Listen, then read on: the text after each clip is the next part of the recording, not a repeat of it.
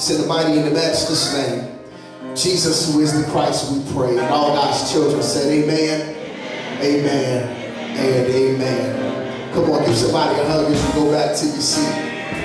Encourage them today.